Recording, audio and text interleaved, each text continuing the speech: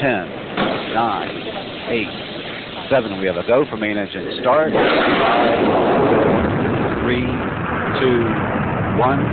We have booster ignition and liftoff of Space Shuttle Columbia with a multitude of national and international space research experiments. Houston now controlling the flight of Columbia, the international research mission finally underway.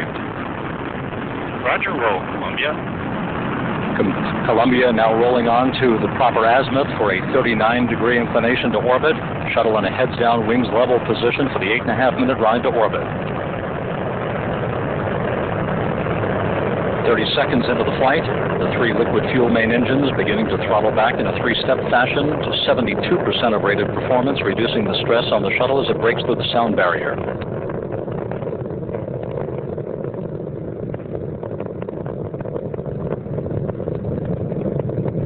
Columbia already two and a half miles downrange from the Kennedy Space Center, four and a half miles in altitude. The main engines beginning to rev up to full throttle, 104% of rated performance.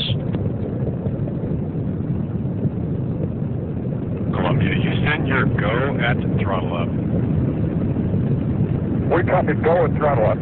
The throttle up call acknowledged by Commander Rick Husband, joined on the flight deck by pilot Willie McCool, flight engineer Kalpana Chawla, and mission specialist Dave Brown. Mission specialist Laurel Clark, payload commander Mike Anderson, and payload specialist Ilan Ramon seated down on the middeck. One minute, 26 seconds into the flight. Columbia 10 miles downrange, 13 miles in altitude, traveling at 1,800 miles an hour.